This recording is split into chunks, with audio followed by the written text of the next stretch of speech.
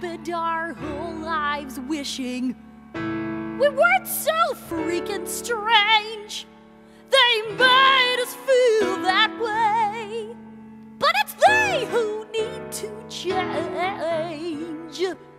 It's time to stand up tall. Say, hey world, I'm different. And here I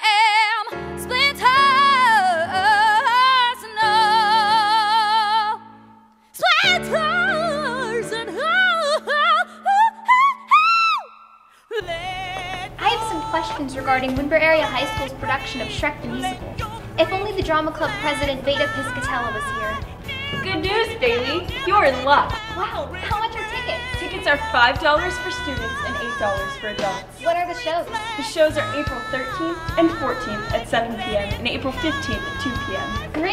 Great. I can't wait. Thanks, Veda. If you need another reason to go to the show, here's why, according to some of our stars. because it's hilarious. Um, the songs are great. The story's perfect. It's Shrek. It's going to be a really fun experience for everybody, not just for us as the cast. It is very fun to perform. A lot of the cast has a lot of fun doing it.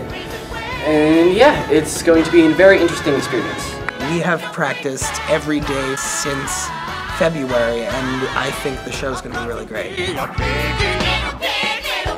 raise my furry fist. Time I told the world I'm a Scientologist. I did some time in jail. I smell like sauerkraut. I'm gonna shed my house call.